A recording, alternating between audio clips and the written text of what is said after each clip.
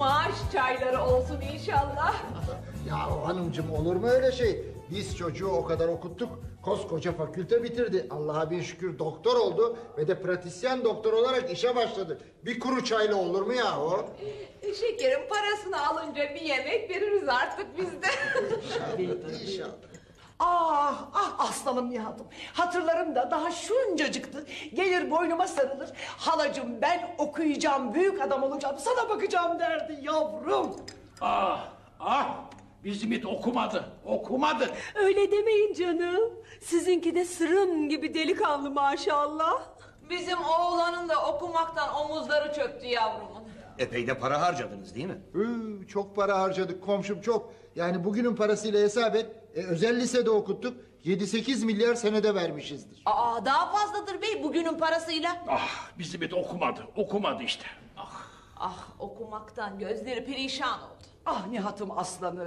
O dershane senin, bu dershane benim. Koştururken pek yorulurdu yavrum. Ama değdi. Doktor oldu çocuk. Vallahi 2-3 sene o dershane senin, bu dershane benim kaç tane dershaneye gönderdik. Ya bu dershanelerde çok para değil mi? 2-3 milyar tutuyor herhalde. Özel hocalara ne demeli bey? Matematik, fizik derken ne paralar gitti. Hele fakülte 6 sene tıp fakültesi. O tıp kitaplarına para yetişmiyor. Senede ben diyeyim 10 milyar, sen de 20 milyar.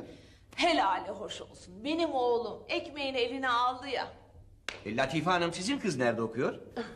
Bizimki Şamata'da okuyor efendim. Evet. Şamata diye okul mu var?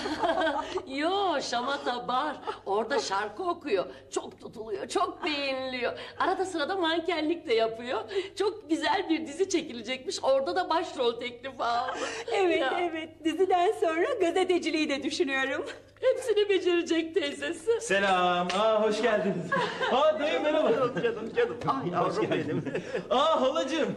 Yavrum, paşaların paşası yavrum. merhaba anne. Evimin gülü geldi, gülü geldi. Hayrola niye toplandınız böyle? Senin ilk maaşını kutlayacağız yavrum. Onu biraz zor kutlarsınız anne. Aa, ne oldu? Ne oldu oğlum? Niye kutlayamıyoruz oğlum? Maaşım 400 milyonmuş baba. 400 milyon mu? 400 milyon mu? Evet anne. Ama eğer nöbete falan kalırsa 550-600'ü bulurmuş maaşım.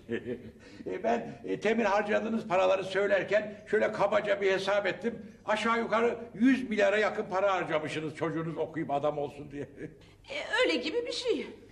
E, şimdi komşu bu durumda sizin çocuk emekli olana kadar aldığı maaşı hiç harcamazsa emekli ikramiyesini de üzerine koyarsa eh, harcadığınız para anca çıkar.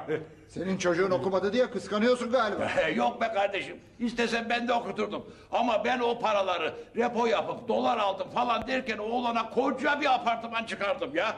Oğlan da şimdi akşama kadar geziyor üstüne de 3-5 milyar kira topluyor. Vay anasını be. Doğru. Ali Bey doğru söylüyor komşu. Bu ülkede çalışıp üretene kimse değer vermez. Rantiyeci, hortumcu, faizci kıymetlidir. Ben bu adamı çok severim. Hep doğru konuşur.